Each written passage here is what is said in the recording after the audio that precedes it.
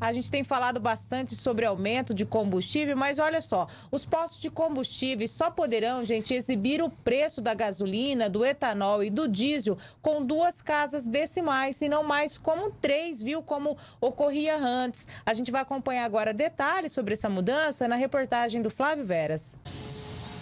A mudança foi determinada pela Agência Nacional do Petróleo, Gás Natural e Biocombustíveis, ANP. De acordo com o órgão, o objetivo da alteração é deixar o preço do combustível mais preciso e claro para o consumidor, além de estar alinhado com a expressão numérica da moeda brasileira. No entanto, a alteração causou divergências entre os motoristas três lagoenses. Mesmo que não abaixou, mas só disso aí já valeu, já valeu muito para nós. Eu aprovo. Porque a senhora acha que gerava um pouquinho de confusão na cabeça aí do motorista? Ah, eu creio que sim. Eu creio que sim. Esses números sempre dão uma confusãozinha na cabeça da gente.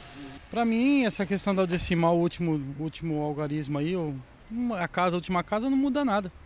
O que realmente que acho que interessa é o valor do combustível que tem que abaixar, né? Vai simplificar para as pessoas da última casa não ficar gerando uma confusão, mas enfim, o que, que, o que vai mudar? O que importa é o combustível abaixar.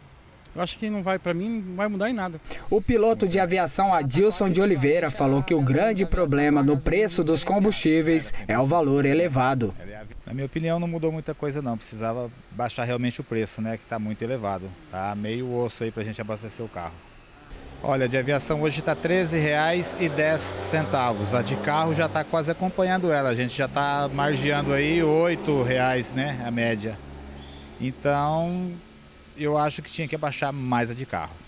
De acordo com a ANP, o terceiro dígito poderá ser preservado nas bombas desde que mantendo zero. A mudança nos módulos poderia acarretar um custo a mais aos empresários. O presidente do Sindicato do Setor de Combustíveis de Mato Grosso do Sul, Edson Lazarotto, afirmou que a medida é positiva, pois esse dígito a mais acabava confundindo os consumidores.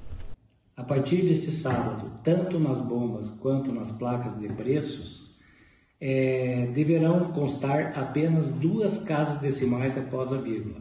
Essa de determinação da NP visa única e exclusivamente a tornar mais fácil o entendimento dos preços dos combustíveis para o consumidor.